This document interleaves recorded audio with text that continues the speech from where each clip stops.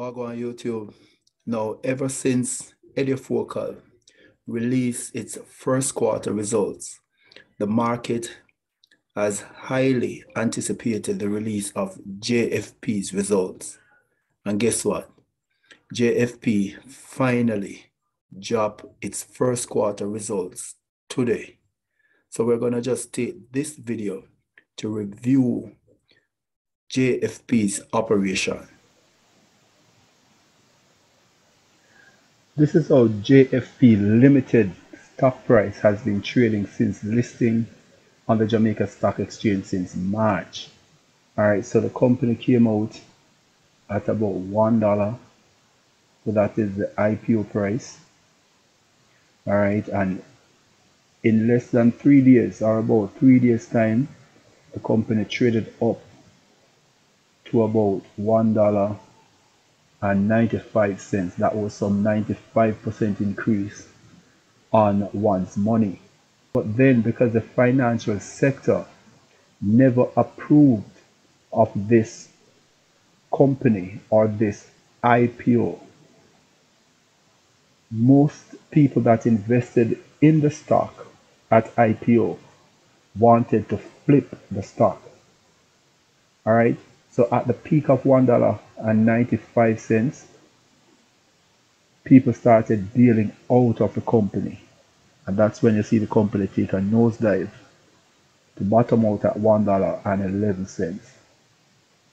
All right, but at that bottom, that's when people who had confidence in the company never bail out and then started investing more in the company. All right, so people who had confidence in the company started putting more money in the company. All right and then the company traded firm for some time. Now at this juncture this is when the market was anticipating the results of the company. All right and as i said people who are in the company at this point had confidence in the performance of the company and was expecting the company to perform well so you see the stock price started trading up as the market anticipated the results. Alright, so all of that culminated in the company closing at some $1.70 today. Alright, so the company is back up at 70% on the IPO. Alright, so today the company went up just 4%. Alright, so that's not much all right, and a volume of some 6.6 million dollars traded as today. That's just a people will of the company. So what we will do is look at the performance of the company because we are more, interested in how the company performs than how the stock performs. At Blue Collar Finance, we believe that as the company performs well, it's a must that the price will catch up. All right, now, how early will it take the, the stock price to catch up? We can't say, but we believe that at some point the stock price will catch up. So it is best for management to pay attention to the performance of the company and leave the market to deal with the stock price. And JFP seems to be doing just that. So let us now go to the review of the company's performance, Q1 performance. We are currently looking at JFP's first quarter results. All right, and it seems like the company has knocked it out of the park, as they would say. All right, so we see where the company is promising regular dividend payment and capital gains. All right. And if you are a follower of blue collar finance, you would also know that blue collar finance does not believe or is not an advocate of junior companies are companies listed on the junior stock market paying dividends.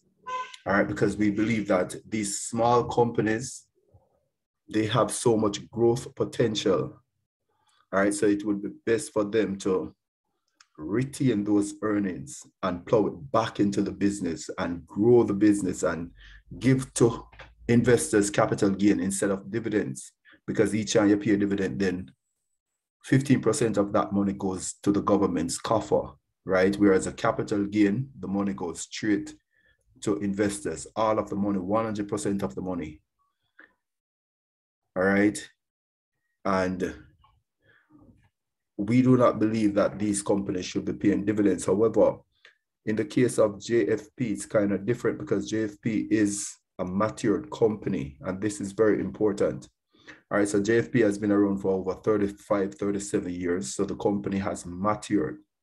All right, so the company took the advantage of listing on the Jamaica Stock, um, I mean, the Junior Stock Exchange or the junior arm of the Jamaica Stock Exchange, where it will get the benefit of tax credit. All right. The benefit of not paying any tax for the first five years and half of the tax amount for the second five years. All right. So this company is a material company that is getting tax benefit. And as a result, we believe that it is okay for this company to pay dividends to investors. And that is one of the promise that these management are making to shareholders. Now, if you can remember in the prospectus, it, it, it gave information that the company paid dividends to the owners of the business at the time. And this was an issue because people were saying that these people were just taking the money and bailing out of the company. All right. They're saying that the management or the owners were actually gutting the company because the company um, wasn't showing any future prospect. All right, so the company paid out, management paid out some $122 million in dividends as of December 2021. All right, and that was an issue. But to blue collar finance, that wasn't an issue because we were saying if the company, if management or the owners have invested in the company for so long, then it is necessary, and the company has grown and matured, so it's necessary for them to be taking some form of payments. All right. And the fact that they were selling are giving us, the investors, an opportunity to invest in this mature company. We did not see that an, as an issue. Actually, we saw it as a strength of the company. The fact that the company is paying dividends and will continue to pay dividends because this company, as I said, is a mature company and it has the ability to pay dividends. However, even though this company is mature, we're seeing where this company is growing as if it, it's a young company just entering an industry. So let us get into the review of JFP Q1 result. PIOJ is suggesting that given the resilience of the construction sector and what they are seeing, and the PIOJ is a credible institution what in, in Jamaica that gathers economic data. It's a planning institution of Jamaica. So they're saying the construction sector is booming and it did show some form of resilience in the COVID period. All right, so they're they're suspecting that for 2022, GDP uh, would grow some six to 10% versus 2021. All right, and this is on the back of the building out of capacity within various industries. All right, so they're saying various industries within the economy is building out their capacity that is expanding their business, including the manufacturing sector. And as a result, they are seeing where GDP will come out some 6% to 10%. All right, so if you understand JFP business, capacity building out will filter right down to opportunity for JFP because JFP is really the finishing touch of any capacity that needs to be built out. All right. So the increase that we're seeing in the manufacturing sector, I mean the construction sector, means opportunity for JFP to continue to build fixtures and furnitures for companies that are building out capacity. All right. So it's a bit, it's a good look for JFP going forward. Now, when we go down to the financials, we see where revenue increase some 70%. All right. And this is what I'm saying. This company, even though this is coming on the back of a reduction in revenue from the COVID period. All right. So this is some rebounding of the company's revenue. All right. Now, management said many of our customers were also getting back on stream to start or continue with their capital project. All right. So within the COVID period, a lot of capital project went on pause. All right. And as a result, the JFP saw a reduction in its business, and then the whole financial sector saw this as a risk, but not remembering that this COVID period is a one off period. All right, so a shrewd analyst would actually eliminate that COVID period and look at, at the company from a more stable or from its more stable years of operation. All right. Now we see where the company is rebounding, its revenue has increased some 70%. And I guess the company is expecting this to continue as most of its customers are getting back on track and they are start building out some capacity or capital project. All right. So the company seeing where most of its customers are developing their capital project and this spills more work and opportunity for JFP. Now, when you look at the cost of goods sold, and this is kind of unique because so far JFP is the only company that we see where cost of goods sold is reducing or has reduced for the quarter. All right, so remember, inflation is rampant. Most company is suffering from inflation.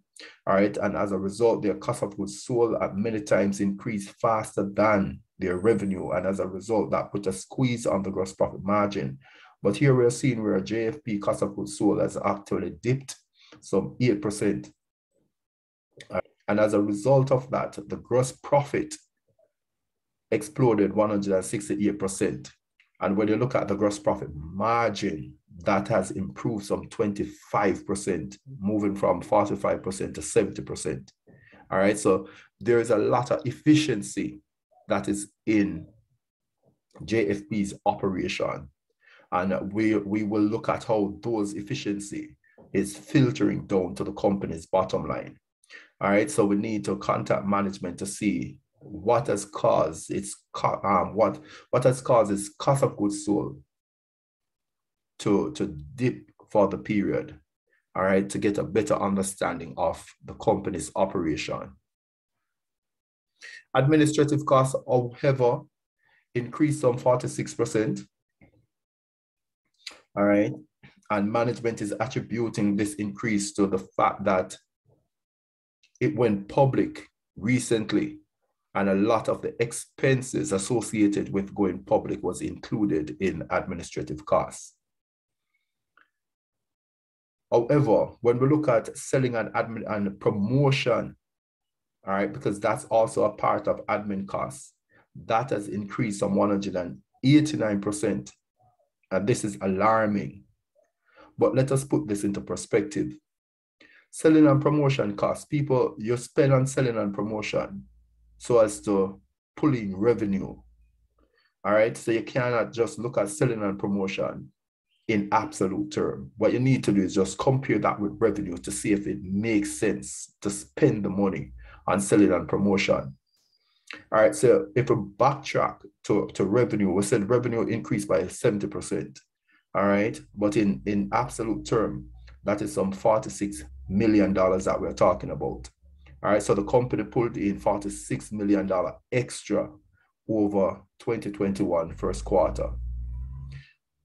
Now, when you look at selling and promotion, the amount of money that was spent or the added amount of money that was spent on selling and promotion was 200 and, or 2.4 million dollars.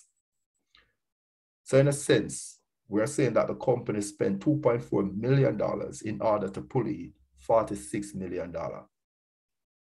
All right. So even though selling and promotion went up by 189%, we're seeing where selling and promotion is just 5% of the additional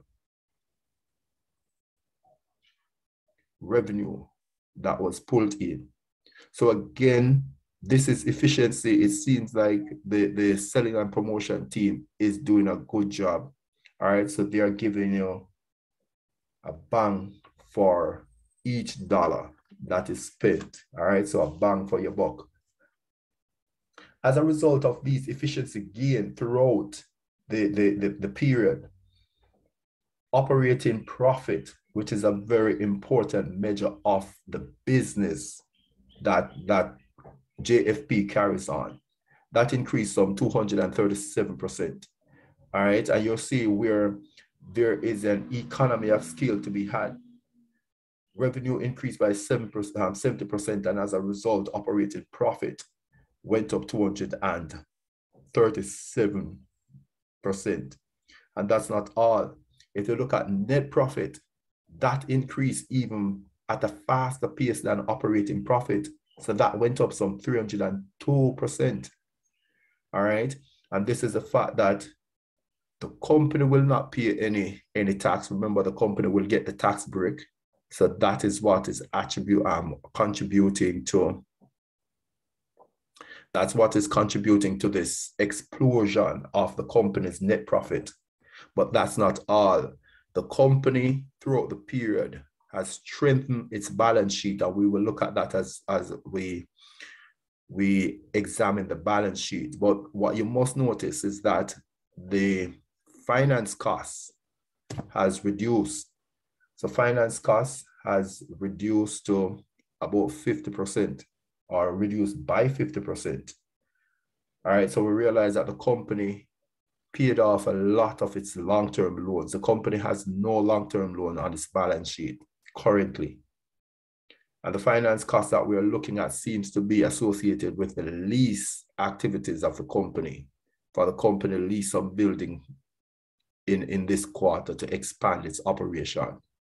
All right. And it seems like that's what is accounting for the finance costs that we're seeing. Now, as it relates to the debt on the balance sheet, the company has reduced its debt to almost zero. All right. So it's a good look for the company in terms of having the strength on the balance sheet going forward, all right, as it expands. So the company have, this will give the company more access to capital, to needed capital, if it so desires. All right. So the company eliminated all of its debt, and as a result, couple, coupling that with no taxes, the company's net profit increased some 302%.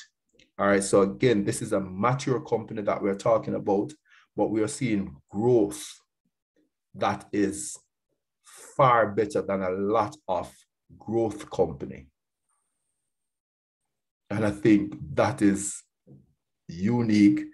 This creates an opportunity for value investors, people who want to buy company, not because the stock price is shooting or because people are expecting some future growth, but because the company has solid results and solid financial statements. All right, solid balance sheet. All right, and this company proved just that. All right, so JFP out here silencing a lot of the critics, people who did, did not believe. Some people did not believe the company would even got listed. Let us move on to the company's balance sheet. All right, so again, we spoke about the company leasing some factory building, thereby increasing its finance costs. I will see where property, plant, and equipment increased some 46% for the period. All right, so this is showing us that the company is really expanding instead of contracting.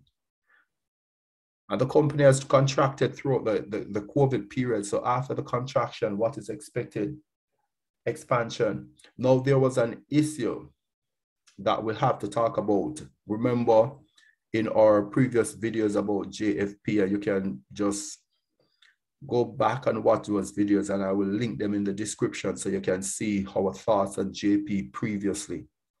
All right, even as the whole financial sector was saying that this company was high risk company. Blue collar finance thought differently. All right, so one of the issue that the company had at IPO or that the financial sector had bones with the company was that the company never had enough cash. Never had enough cash on its balance sheet. And that was one of the issue people had with the company. Now, Blue Collar Finance spoke about the company having some investments in the Jamaica stock market. At the time, the company had some $30 million of investment up to September 2021. All right, the company had $38 million of investment in the local stock market.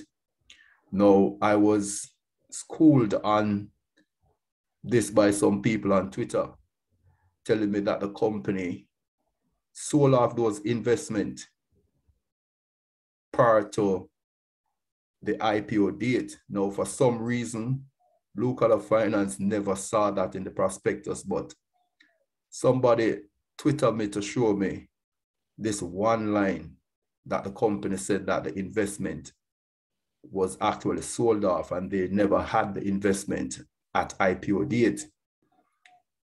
Now, my interpretation of that is if cash was an issue, and I am saying that the company had the investment to rely on,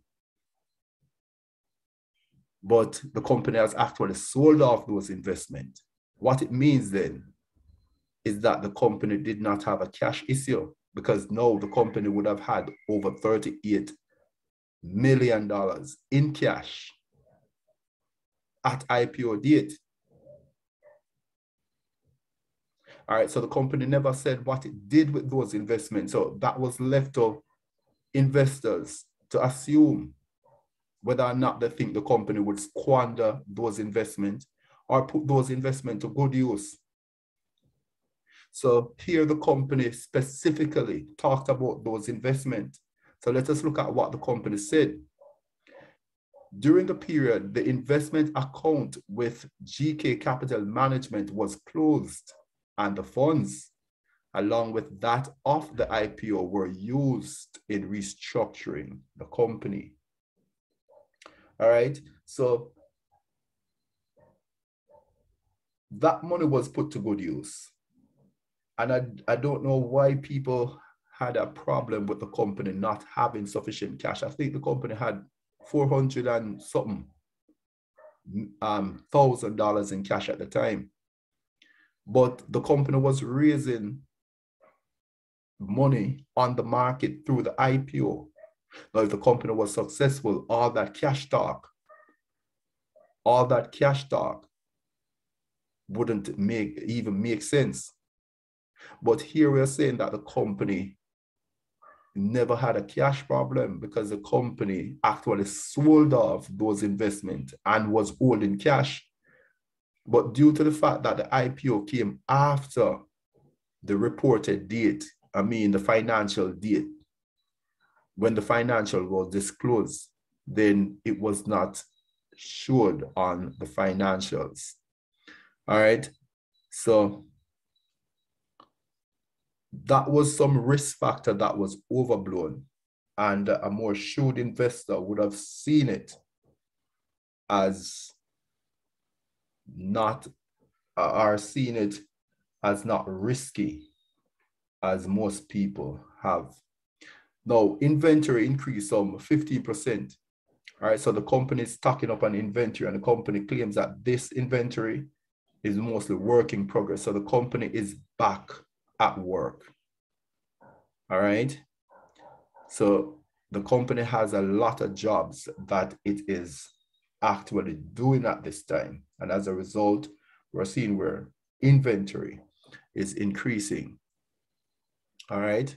So inventory increase similarly to the receivables.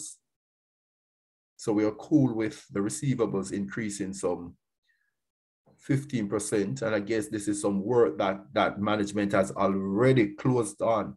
All right, so this was due to the success of the company in finalizing the ROK Hotel project, which they did mention in the prospectus, all right, which they claim was on pause due to the COVID period. So management finally completed that work.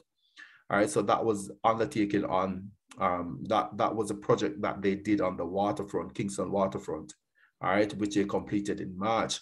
But management did make mention of these projects and that th- those were projects in the bag already.